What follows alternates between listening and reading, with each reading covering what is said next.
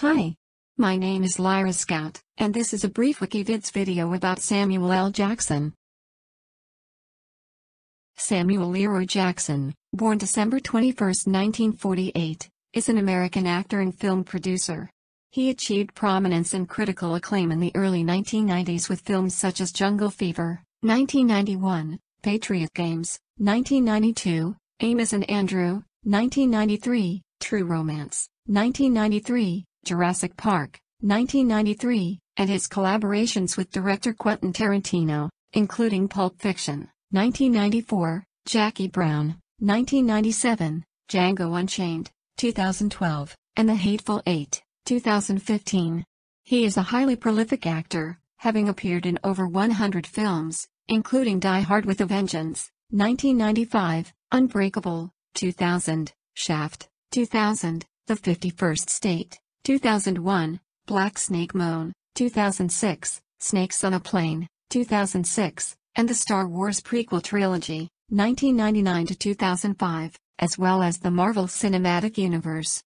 With Jackson's permission, his likeness was used for the ultimate version of the Marvel Comics character Nick Fury. He later cameoed as the character in a post-credit scene from Iron Man, 2008, and went on to sign a nine-film commitment to reprise this role in future films, including major roles in Iron Man 2, 2010, The Avengers, 2012, Captain America, The Winter Soldier, 2014, and Avengers, Age of Ultron, 2015, and minor roles in Thor, 2011, and Captain America, The First Avenger, 2011.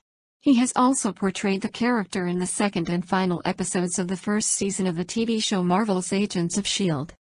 He has provided his voice to several animated films, television series, and video games, including the roles of Lucius Best slash Frozone in Pixar Animation Studios film The Incredibles, 2004, Mace Windu in Star Wars, The Clone Wars, 2008, Afro Samurai in the anime television series Afro Samurai, 2007, and Frank Tenpenny in the video game Grand Theft Auto, San Andreas, 2004. Jackson has achieved critical and commercial acclaim, surpassing Frank Welker in October 2011 as the actor with the highest grossing film total of all time, and he has received numerous accolades and awards. He is married to LaTanya Richardson, with whom he has a daughter, Zoe. Samuel L. Jackson is ranked as the highest all-time box office star with over $4.9 billion in total box office gross, an average of $69.1 million per film. Well my friends, I hope you've enjoyed this brief video about Samuel L. Jackson. Until next time, this has been Lyra Scout for WikiVids.